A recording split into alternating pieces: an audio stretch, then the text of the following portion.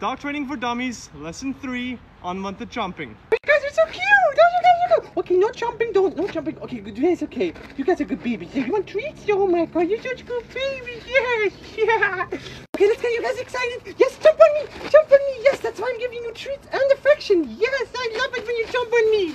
Oh my god, can I pet your dog? Of course, you guys want to meet her. You guys want to meet her. Come here.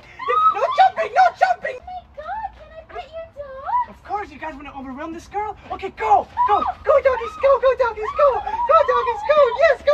Hi you guys, I'm gonna give you affection when you're not jumping, okay? In case you would jump, I'll turn around and completely ignore you. But when you don't jump, you get a lot of cuddles. Good job. Oh my god, can I pet your dog? Of course, we're actually working on not jumping on people, so let me make them sit first. Roby, Roxy, sit. Wait, okay, go ahead. No. No. Good job, Karen.